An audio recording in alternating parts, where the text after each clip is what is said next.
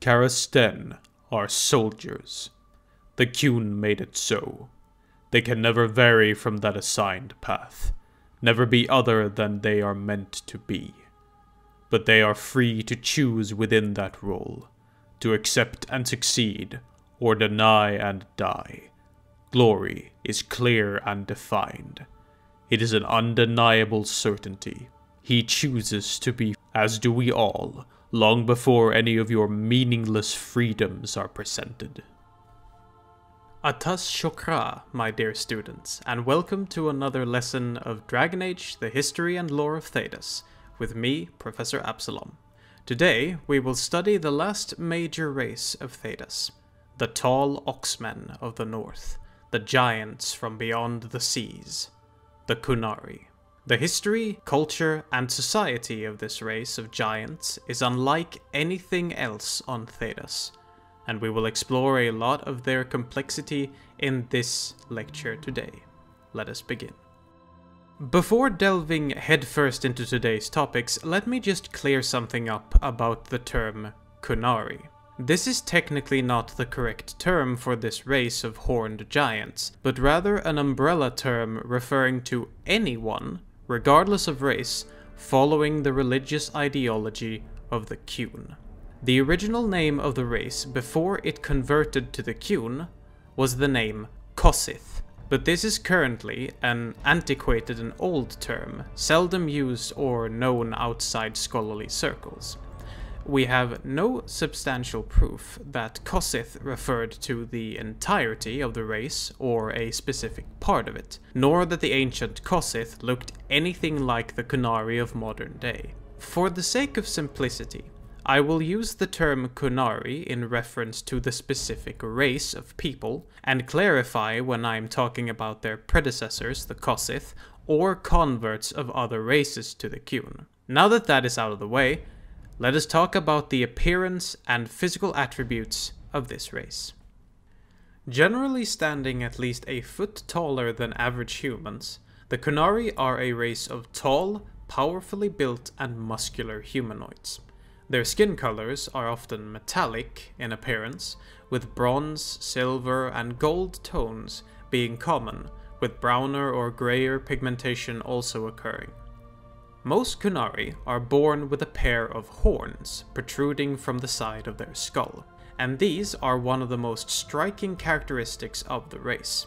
Though normally only two, there are known examples of Qunari with four, six, or even eight grown-out horns, though exactly what determines the number of horns a Qunari is born with, and whether it has any larger cultural significance, is currently unknown. These horns, however, lack nerve endings and can be removed with sufficient force if the Qunari so pleases, for whatever reason. There are also some Qunari that are born entirely without horns. Within Qunari society, those born without horns, or those who choose not to wear them, have a certain mysticism about them. They are considered to be quite intimidating, strange, and imposing, and because of this, many Qunari dissidents, which I will get into later, purposefully remove their horns so as to frighten their foes more easily. This imposing nature, in regards to hornlessness, can have its advantages, however, since hornlessness also is considered as something special and unique, especially by those who rule Qunari society. Because of this, many hornless Qunari can be assigned and given important administrative positions, roles, ranks, or even ambassadorial assignments simply for being hornless. In our first lecture, we talked briefly about the possibilities of lands beyond the borders of Thedas, yet unexplored.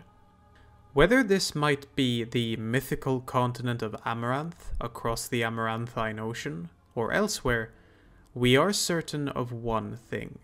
The Qunari are not native to Thedas, and arrived to the continent from the northeast, beyond the Boeric Ocean. On the other side of the ocean, it is speculated that the original home of the race, that they for some reason left behind, is located. Since various sources, like the Qunari sacred text, the Tome of Koslun, makes references to lands, creatures, peoples, and cities, it is safe to assume that the race that became the Qunari came from some sort of civilized society and were aware of these concepts before arriving to Thedas. Before the Qunari arrived to Thedas en masse in the year 630 Steel, there is one lesser known period of history where the predecessors of the Qunari explored Thedas. This occurred in minus 410 ancient, when a group of what is to believed to be Kossith landed in the Kocari wilds in southern Thedas, at the very edge of the continent. Here, the Kossith established a colony and lived until the emergence of the Darkspawn during the First Blight a couple of decades later. The rampaging Darkspawn destroyed the colony and killed most of the Kossith settlers, as well as presumably capturing some of the female Kossiths. This is presumed because after this event, there emerged a new species of Darkspawn the ogres, created through the vile crafts of the Darkspawn from the captured Kossith females. The disgusting details of Darkspawn creation, I am delighted to say, will not be covered today, but will instead be the topic for a future lecture.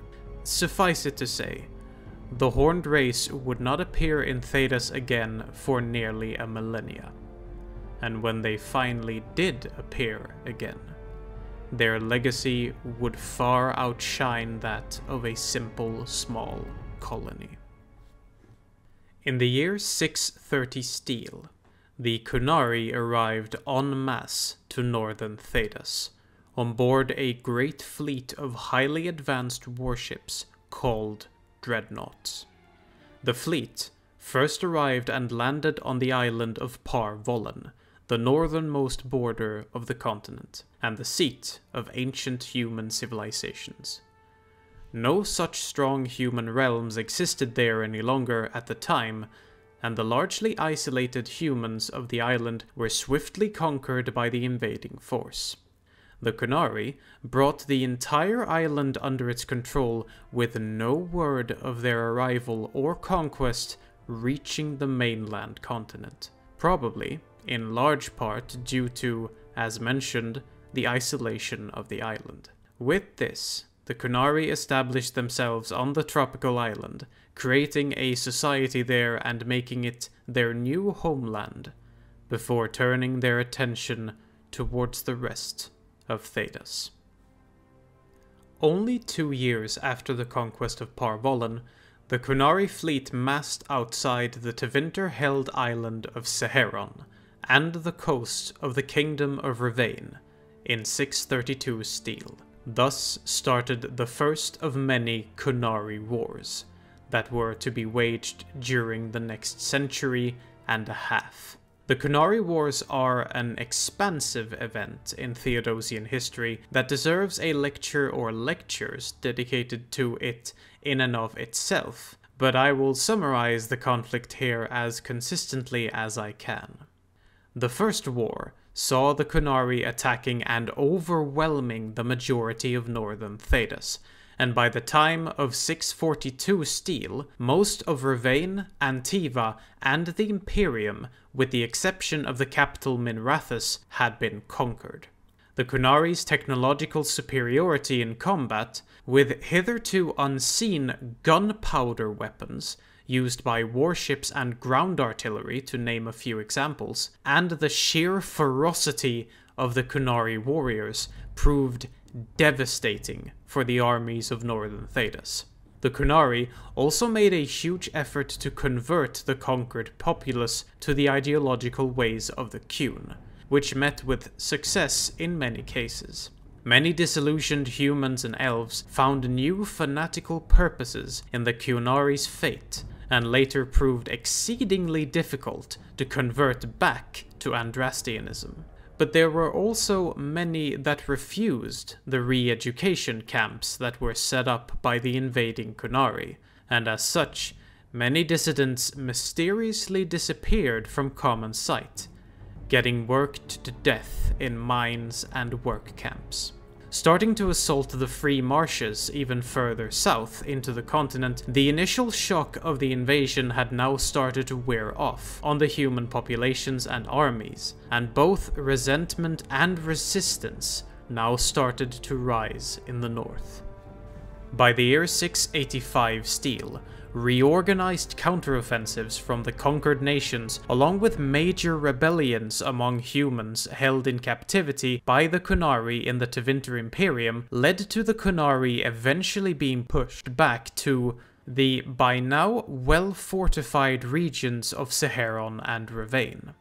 The conflict had at this point reached into a new age, and by 723 Storm, the two warring sides were suffering from war fatigue and reached a stalemate. Two years later, in 725 Storm, the nations of southern Thedas, seeing the threat that the Qunari posed to the rest of the continent, united under the banner of faith. Having not seen eye to eye since the schism, the Orlesian and Imperial Chantries put aside their differences and launched a combined holy war to reclaim Rivain and Seheron respectively. This led to three consecutive exalted marches that brought the full might of southern Thedas and its armies into conflict with the Qunari. By using the mages of the Circle of Magi to counter their technologically superior opponents, the Chantry's armies gained a significant advantage over the Qunari armies, since the Qunari were very reluctant to use their own mages in a similar way. After decades of fighting and the plundering of many important Qunari artifacts, including the sacred tome of Koslun, which ended up in Orlais, the Thedosian armies managed to drive the Qunari off the mainland continent and Seheron. The exception to this was the parts of northern Rivain, and in particular the Qunari-founded settlement of Kont Ar.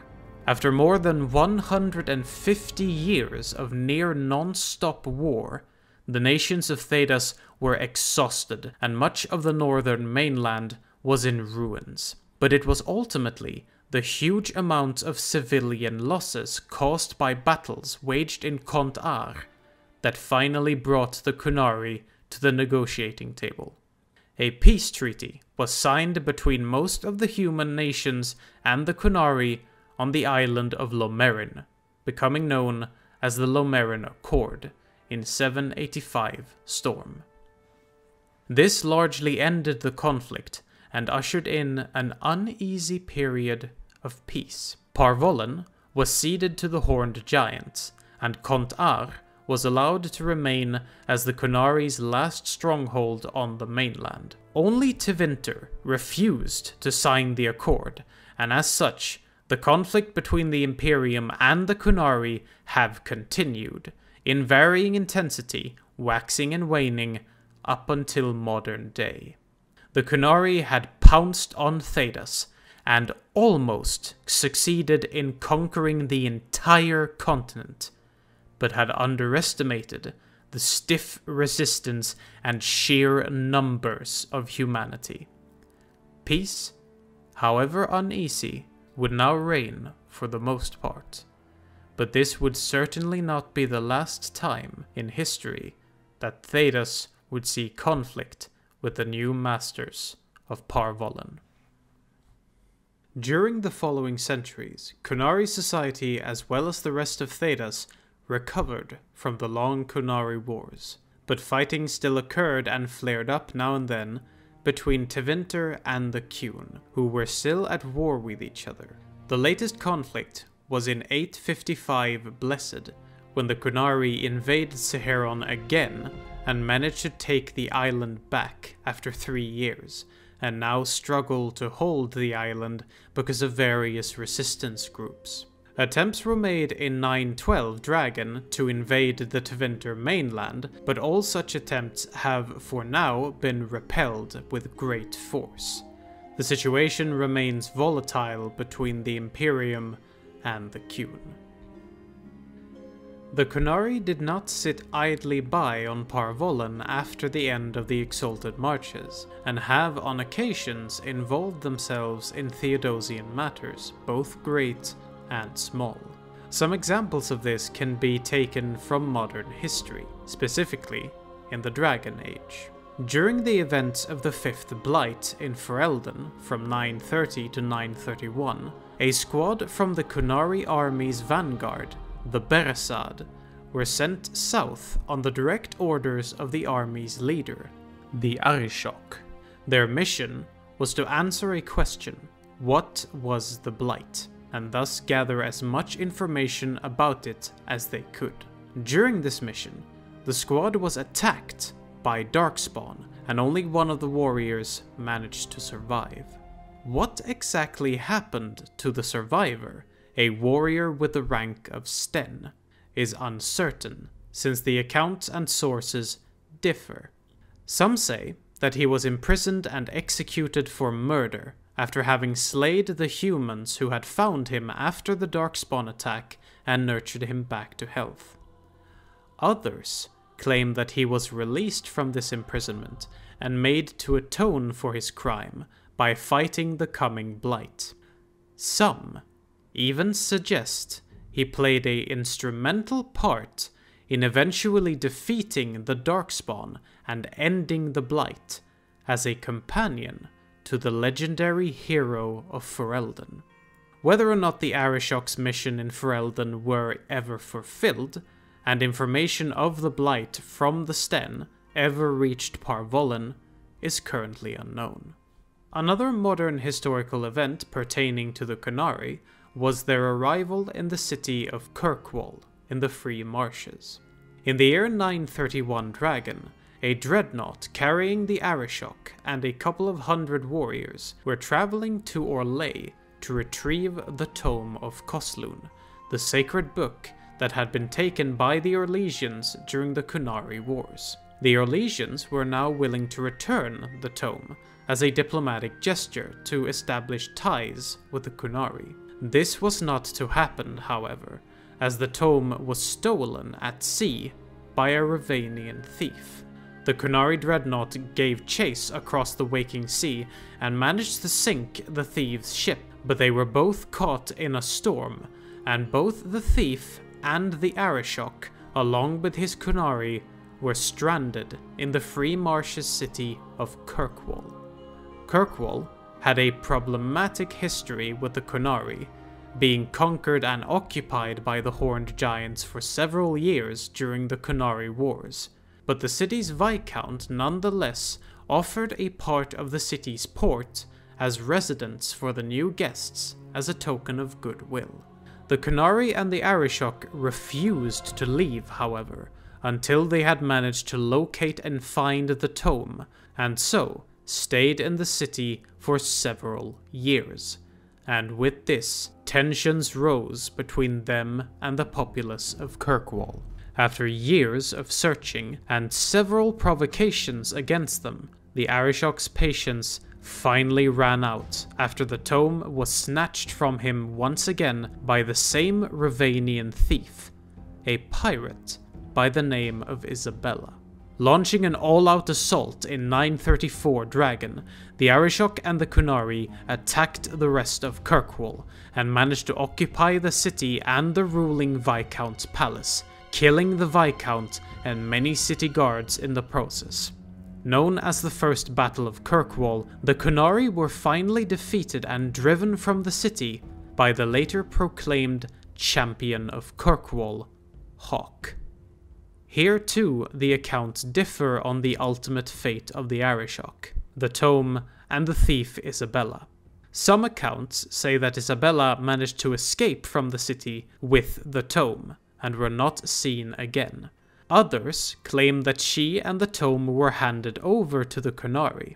Regardless, the Qunari later left Kirkwall, and the remaining leadership of the Qunari publicly announced to the rest of Thedas that the Arishok had not acted with the approval of the Qun, denouncing and disavowing the entire attack as unsanctioned by Par Vollen. Although centuries have passed, the Qunari have not given up on their aspirations on the rest of southern Thedas. This can easily be seen in the operation known as Dragon's Breath. In 944 Dragon, the Qunari had managed to gain control of a part of the ancient elven portal system, the Eluvians, and used it to attempt to eradicate the leaders of southern Thedas, and thus clearing the way for a future Qunari invasion of the continent.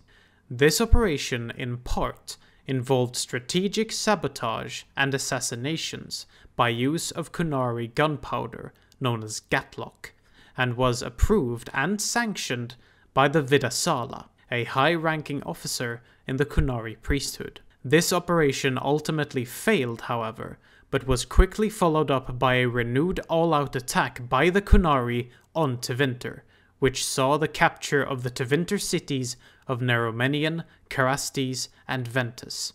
This attack was later denounced by the rest of the Qunari leadership, who said that the invasion was unsanctioned by the leaders of the Qunari and that the military, the Antaam, had acted on its own.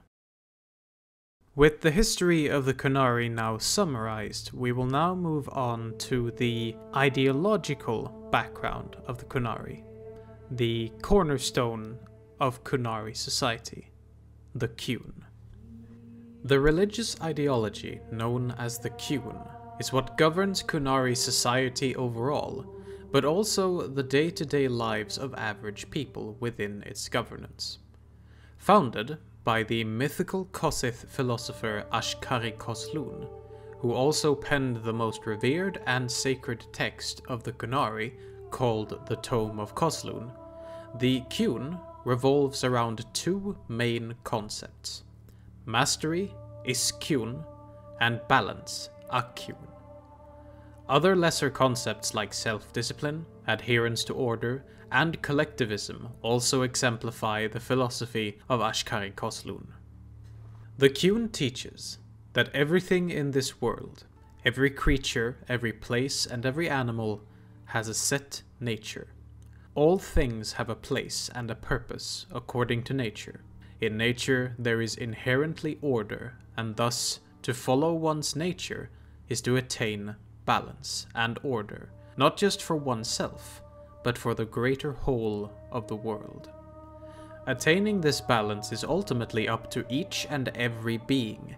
They have to choose to improve and reach balance in accordance with their nature. This enlightenment is beyond those who refuse to discipline themselves, for if they do not, they will be without purpose and balance. This is why self discipline, self sacrifice, self improvement, and obedience is valued so highly within the Qun. A core principle of this philosophy is the concept of asit tal eb, translated to it is to be. Existence in itself is a choice, and what we do with it ultimately is up to us. If we change, we do so because we can and want to. If we do not, we have none to blame but ourselves. True order in the world is reached when all come together to form that order in accordance with nature and work together as a whole. Therefore, a society based on the teachings of the Qun are likened to that of a full body organism. This body is split into three parts the physical body itself, the mind, and the soul. The physical body the legs, arms, eyes, etc., interacts with the outside world and works as an intermediary between the rest of the world and the other two senses.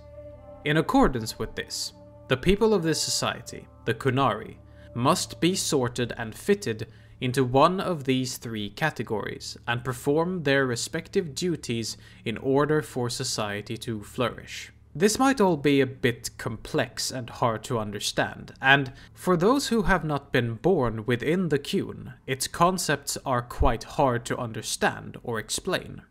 Suffice it to say, the ideas of this philosophy can be somewhat summarized in an excerpt from the first canto of the Qun. Quote, Existence is a choice. There is no chaos in the world, only complexity. Knowledge of the complex is wisdom. From wisdom of the world comes wisdom of the self. Mastery of the self is mastery of the world. Loss of the self is the source of suffering. Suffering is a choice, and we can refuse it.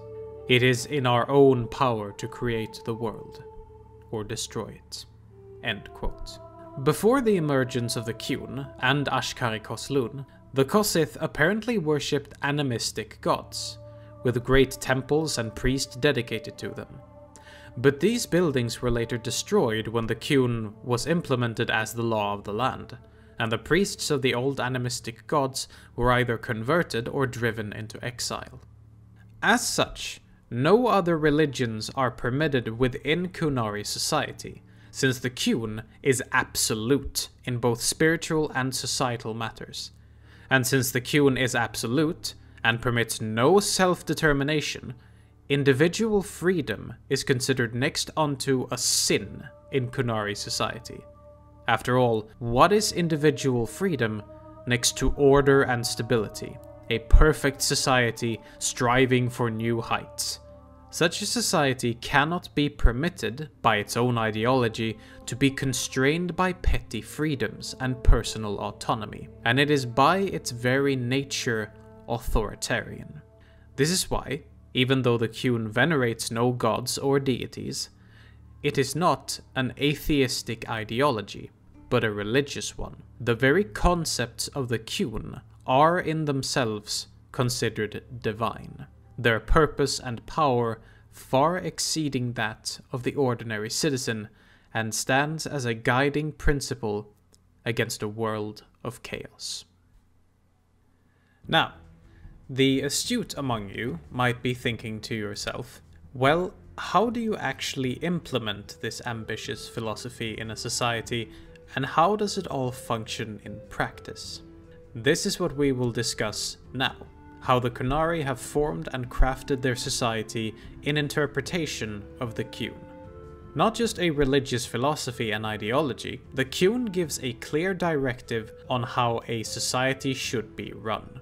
Its rulership, administration, laws, societal ranks and hierarchies, gender roles, morals, ethics, and much, much more. The Qunari see their society as a singular organism, one body one creature that all citizens are a part of and are responsible for. To oversee such a society, at the head of its governance, is the Salasari, or the Triumvirate in common.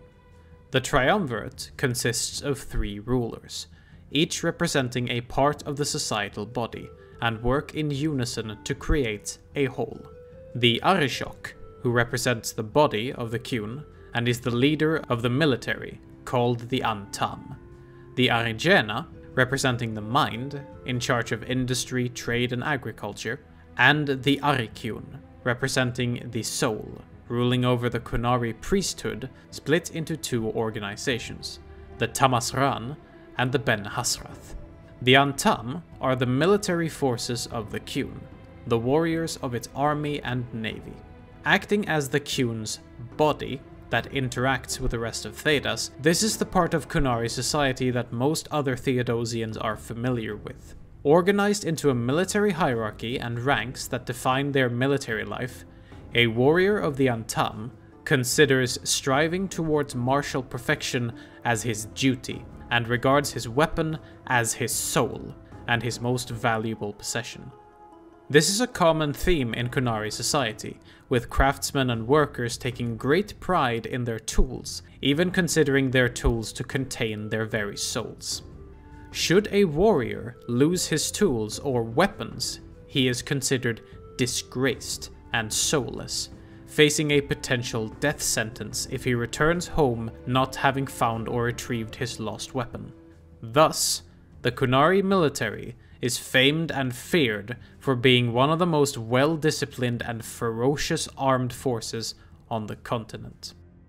The Tamassran and the Ben-Hassrath under the Ariqun are two of the most important and unique organizations in Qunari society, having very special and to outsiders quite strange tasks to carry out. The priesthood of the Tamassran, meaning those who speak in their own language, are responsible for educating and fostering the people of the Qun, making sure that all are being taught the principles of the Qun and fulfill their duty to society.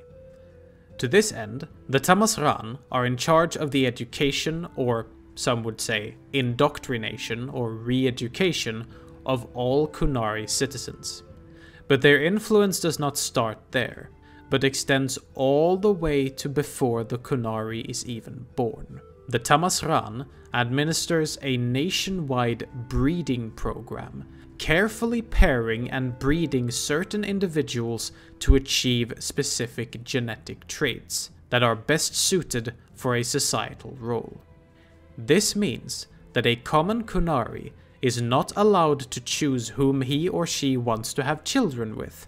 That is decided for them by the Tamassran, and offspring are bred for specific purposes rather than conceived out of a personal reason. Children are even named by the Tamassran, and these names are nothing more than genealogical indicators to keep track of their gene traits for future breeding.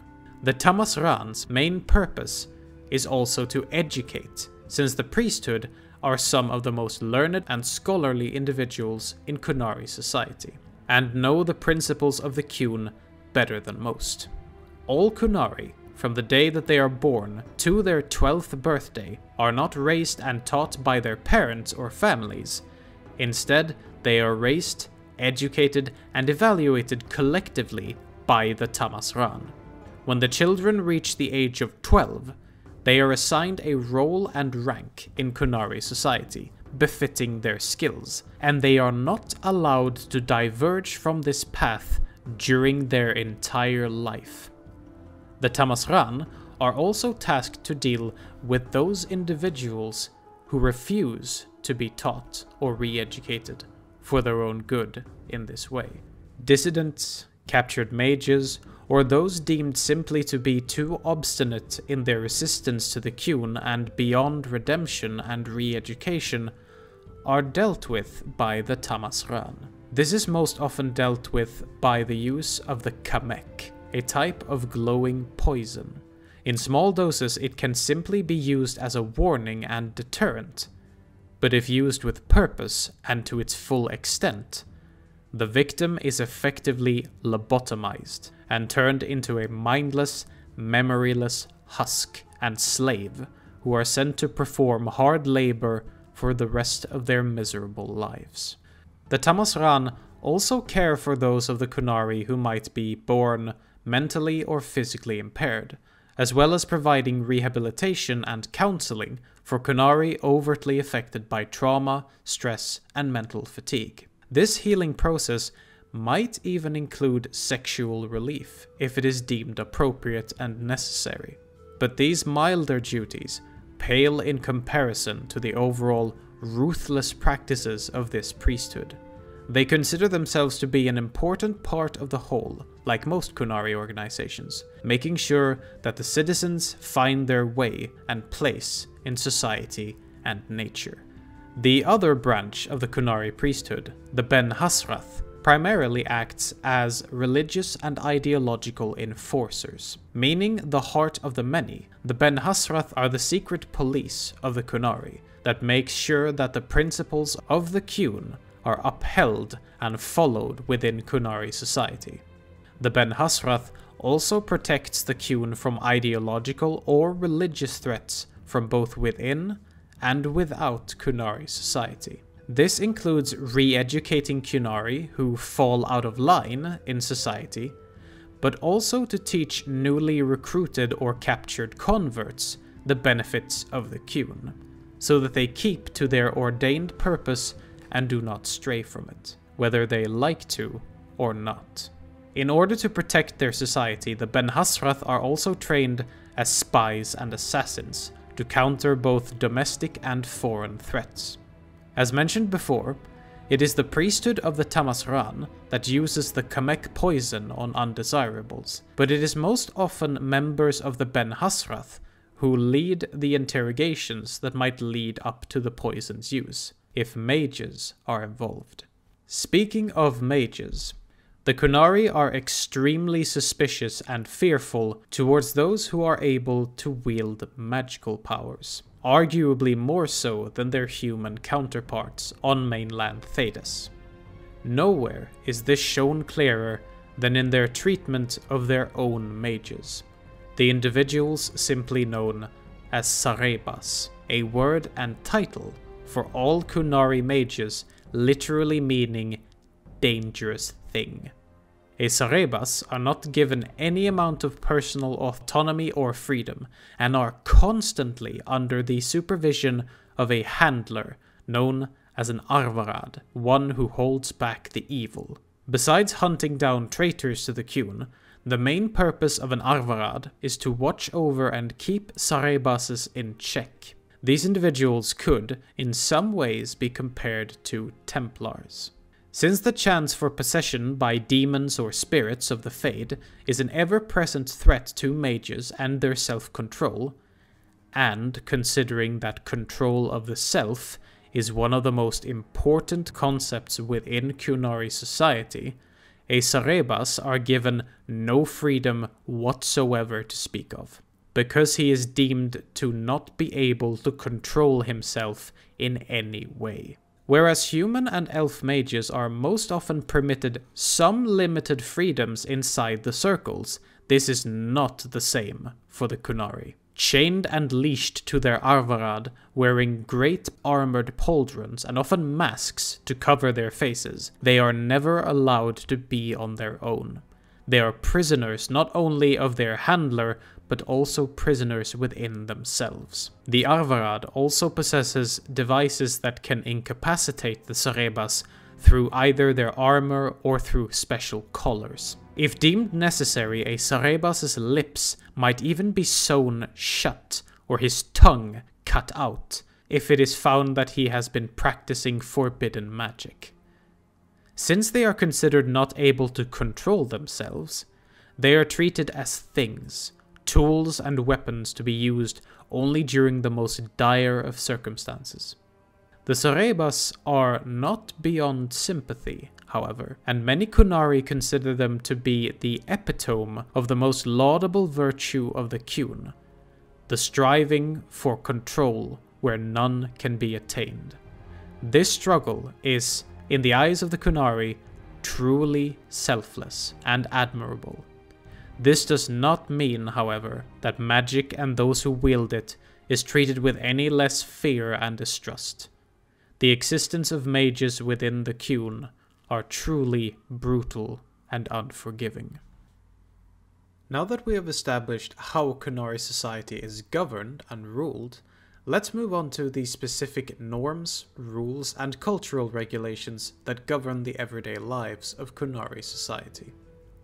First and foremost, the citizen himself is not strictly speaking an individual in and of himself, in accordance with the Qun.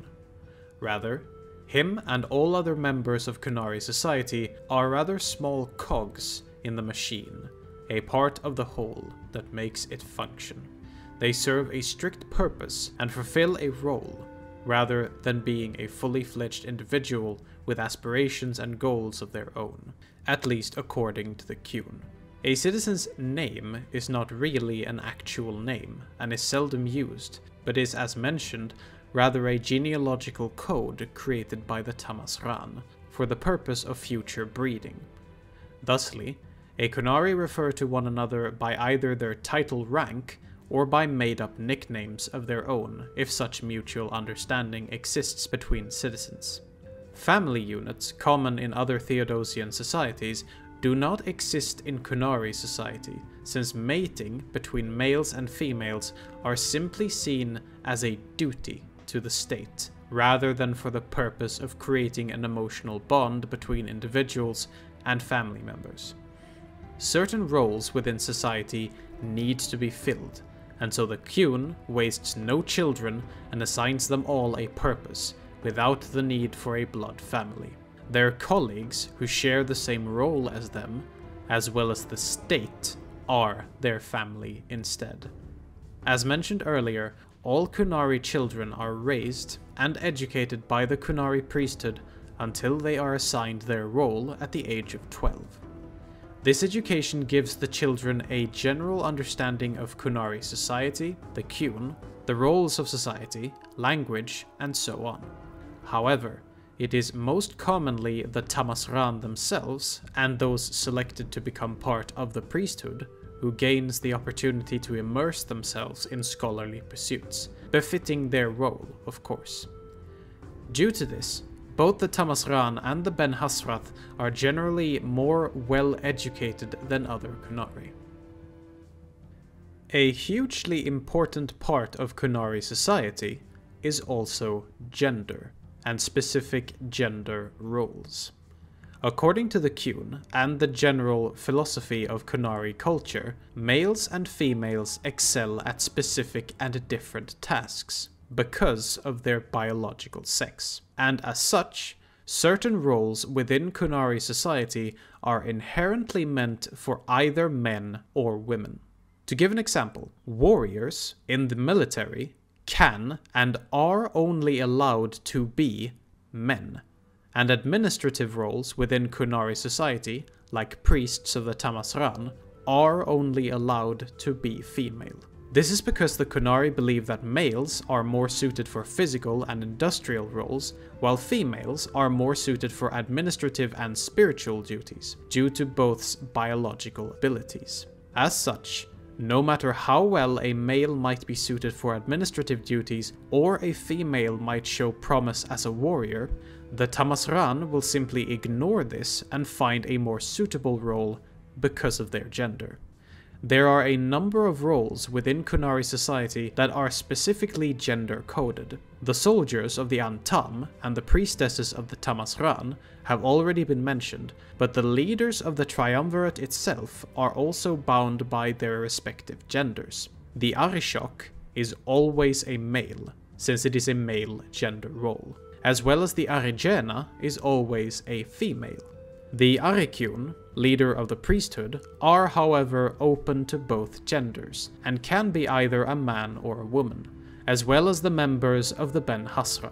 All of this does not mean, however, that there sometimes aren't exceptions to these stringent gender rules.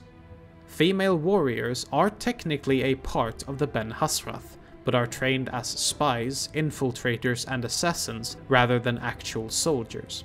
Even though it is considered wrong, counterproductive, and shameful for Qunari, they will take up other roles than what their gender permits, if commanded to do so, but this is however exceedingly rare. Qunari society is, as the Qun dictates, rigorously ordered and maintained. In rural areas and villages, houses are built around the same mold, built to look more or less the same, structured around straight orthogonal lines. Places of import for production and industry, like farms, fields, and workshops, are tended and owned communally. We do not know if this is the case in larger cities, but it might be a plausible possibility.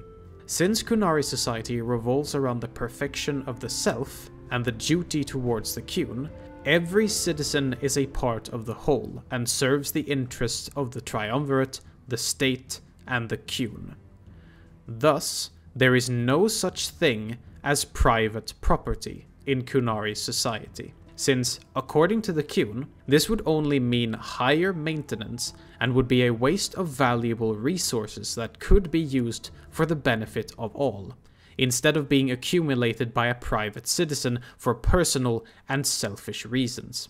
Wanton materialism and the possession of luxury items, however harmless they might seem, is not practiced or allowed within the Qun.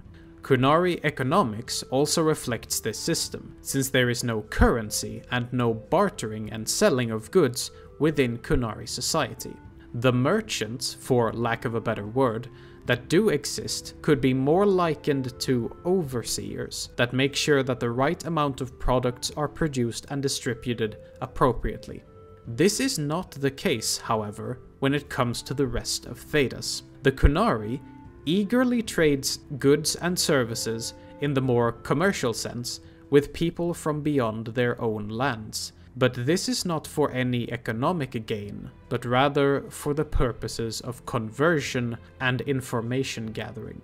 The Qunari are very curious about how the people beyond the Qun live, and thus they aim to learn as much about foreign cultures as possible through trade, so that they can not only improve their own society, but also convince more outsiders to convert and join the Qun. Life and death in service to the Qun is not only an honor within Qunari society, it is considered an obligated duty by every Qunari citizen that serves the whole in their own way.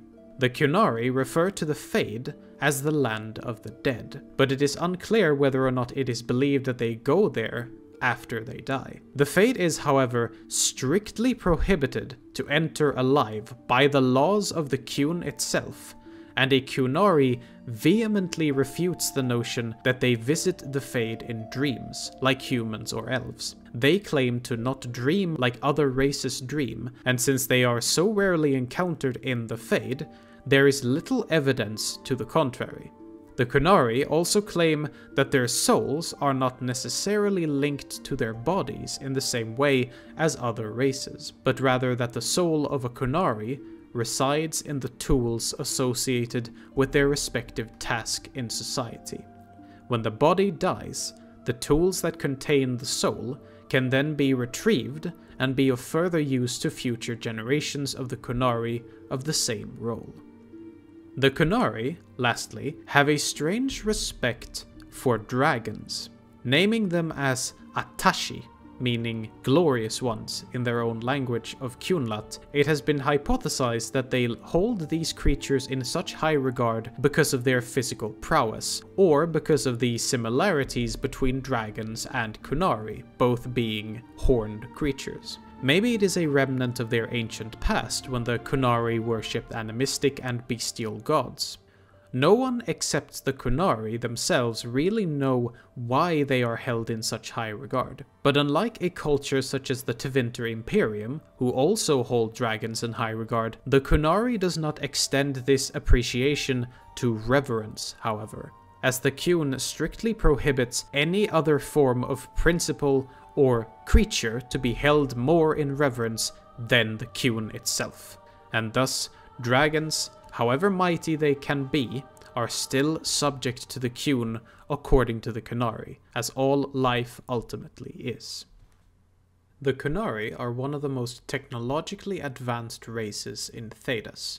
Surpassed only by the dwarves, Qunari science and technology can very much be traced to the innovation known as Gaatlok, the Qunari's very own explosive black powder. This compound, its formula a closely guarded secret up until the year 944 when a version of the recipe was recovered from the Ben-Hassrath, is safer to use than the lyrium crafted explosives that dwarves already possess, and can be used by anyone. It is also more applicable in weapon manufacturing, giving rise to cannons and the mighty seafaring dreadnoughts, massive floating fortresses more so than ships made of wood and propelled with oars that are armed with said cannons. It was these weapons that brought the Qunari such overwhelming victories during the Qunari Wars, and a testament to their willingness to rely on manufactured arms and new technologies rather than mages, in stark contrast to humans. Another technological invention of the Qun, also centered around warfare and weapons, is the virulent poison called Saarqamek. Deadly to all races except Qunari, it causes blind rage and madness to anyone affected by it, followed closely thereafter by death. Applicable either as a poisonous gas or smeared on blades, a common strategy among the Antaam is to use this poison to sow dissent and chaos among enemies, and use the poisoned victims as tools to soften up resistance or spread ruin among the enemies of the Qun. Antidotes for this poison do exist, but we have no idea how well known or widespread this is. Whether this poison has any connection to the qamek that is used by the Tamassran is uncertain. Linguistically, the two items seem to share a similar meaning, but since it is unknown exactly what the term Saarqamek means in Qunlat, the full connection is not known. The advanced society of the Qunari are capable of more civic forms of advancement, such as the sophisticated architecture of Qunandar, the capital of the Qunari on Par Vollen. The masterfully constructed domes and efficient aqueducts supplying water to its inhabitants, not to mention the shape of the entire city to liken that of a great beehive, does show the advanced nature of Qunari engineering technology. But despite this, it does seem like the main focus of Qunari science and technology is centered around warfare, conquest, and the subjugation of others. Those outside of the Qun, the numerous humans, dwarves, and elves in the rest of Thedas, are known to the Qunari simply as bas, a word meaning thing. Seen as foreigners with no true purpose, the highest honor that can be bestowed to a bas outside of the Qun is the rare title of Basalit An, a respected foreigner and a worthy foe who, although he is not as honored and wise as someone who has embraced the Qun, can still be treated and reasoned with. Every bas has potential, however, according to the Qunari, and if the wisdom of the Qun is shared with them, they can indeed reach their full potential and serve a greater purpose than themselves. Willing conversion to the Qun is not uncommon, especially in parts of northern Thedas. Many individuals from Rivain and elven slaves from Tevinter are two demographics that commonly join the Qun from outside its territory, or who are willing to convert if lands are conquered. Since the Qunari still have a presence in northern Rivain and contested parts of Tevinter, these are where most converts arrive from, but converts from other parts of the continent do also show up from time to time. Many who seek the Qun are often downtrodden and oppressed people, desperate and yearning for purpose in a life where they have found none. Others have been persuaded through trade with the Qunari, like we mentioned earlier, and might simply join out of ideological reasons. But the Qun is also, most often, spread through war. Besides being known as Bas, when the Qunari conquer new territory, the non-Qunari peoples of said territory, and the nations yet to be conquered, are known as the Kabethari, meaning simple people. These Kabethari are unenlightened and without purpose, and must, according to the Qunari, be given the wisdom of the Qun so that they can become useful. And the way to enlighten these Kabethari is through conversion or re education, or indoctrination, as some would call it. This process usually goes something like this.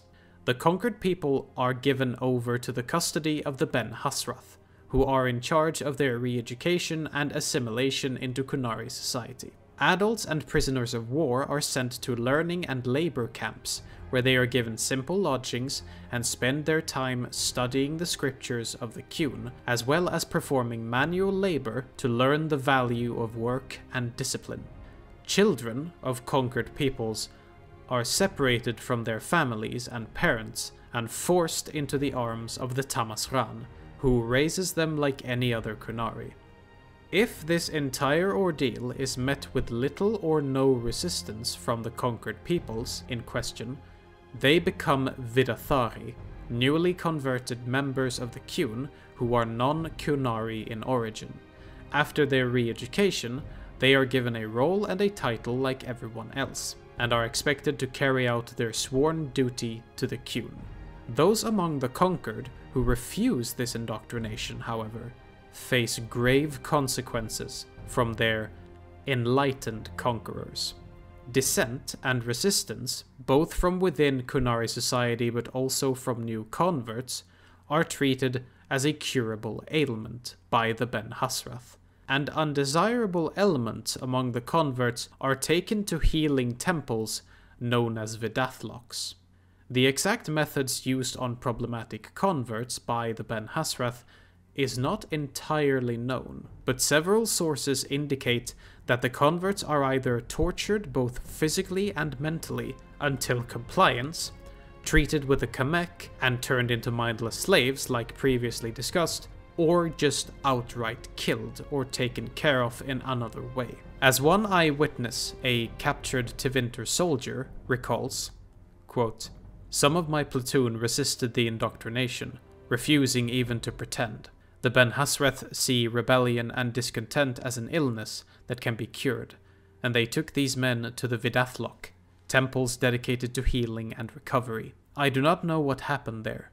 The men who returned were changed in profound ways. Others we never saw again. I can only assume the cure did not take. There are those who turn away from the Qun after having grown up within it or having converted to it. These deserters and dissidents, who, according to most Qunari, are outright traitors, are known under the umbrella term Talvashoth, meaning true grey ones. These individuals and groups are not to be confused with the term Vashoth, which refers to the few Qunari who since their birth have grown up outside the Qun. The Talvashoth are Kunari, or Vidathari, who have chosen to abandon the Qun and live outside it. Whether for ideological or personal reasons, they chose a different lifestyle. Since Qunari are quite rare outside the Qun, and many Thedosians automatically associate the Oxmen with the Qun, Talvashoth usually live out their lives in smaller isolated groups and villages away from civilization and prying eyes. Others take up professions like mercenaries and hired soldiers to earn a living and survive.